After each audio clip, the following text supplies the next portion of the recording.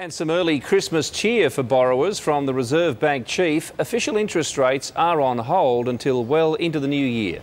To 10's political editor Paul Bongiorno in Canberra and Paul, the RBA governor, is now defending the banks over their rate hikes. Santa is a bit of good news and bad news for borrowers today. The Reserve Bank uh, governor gave short shrift to that outbreak of bank bashing that followed the latest round of retail interest rate rises. He thinks the banks weren't profiteering and he believes they should get their spreadsheets back in order.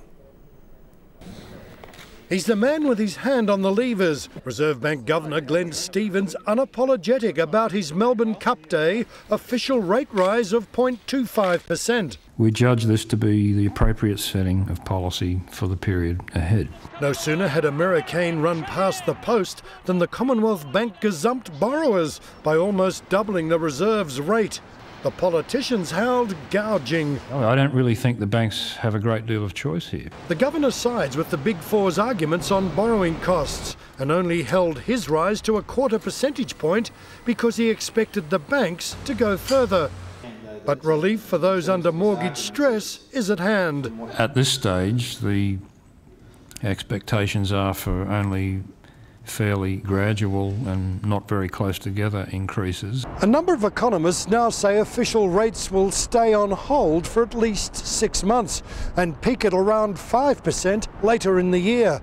One of the Liberal MPs on the Economics Committee won endorsement from Glenn Stevens for a cost benefit analysis of the NBN. There ought to be, of course, a proper cost benefit analysis of that case uh, in those instances. This is going to be the most inspected piece of infrastructure in every sense in the history of Australia. It's an argument accepted by the Senate. Despite every opposition delaying tactic in the book, the legislation paving the way for the NBN Co to take over Telstra's wholesale network finally got the nod. There being 30 ayes and 28 noes, the matter is resolved in the affirmative. The clerk. Paul 10 News.